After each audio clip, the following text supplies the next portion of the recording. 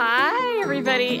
so I just got a new selfie stick, a new toy for Chickenlandia, and we're outside in our yard and we're gonna check out um, my two new little babies. I've got a little bantam. I think she's Japanese. I'm not sure. Um, and then I have a little um, a little rooster who I think might be old, old English mix or Old English.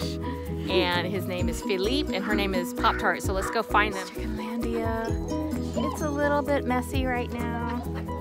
And we're walking over here to see the new baby. Do you see them? They look so tiny. This is Philippe. Hello, Philippe.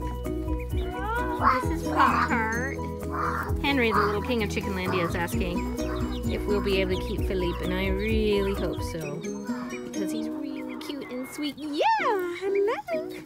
Hello! Alright, well that's our new babies. They are. So so what's the what's the little hen's name? Um, the hen's name is Poptart. Pop Tart? Yeah. You came up with that, huh? Yep.